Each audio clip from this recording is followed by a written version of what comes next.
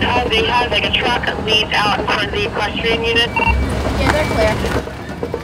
I'm Simone Aldain. I coordinate the annual Dr. Martin Luther King Jr. Parade. There's three lines up right here. Oh, you see people? Okay. Are you volunteering?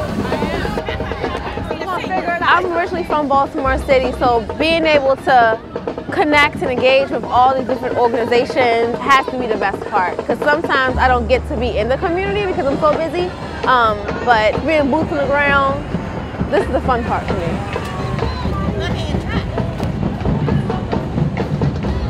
Let me just say to all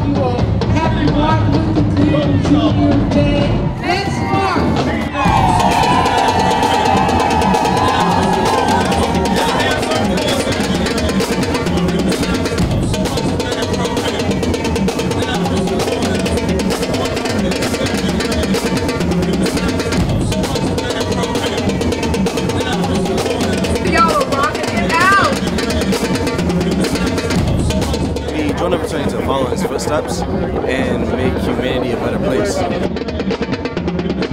Get it, get it.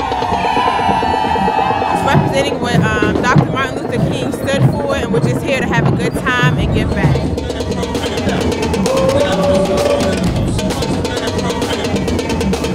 and we're happy to be here on this day on and not a day off from Martin Luther King Day of Service. I, I think more people are understanding of what the purpose is and why we out here to show him as he rests in peace that we haven't forgot anything he's done. And we'll continue to fight for those rights and equality.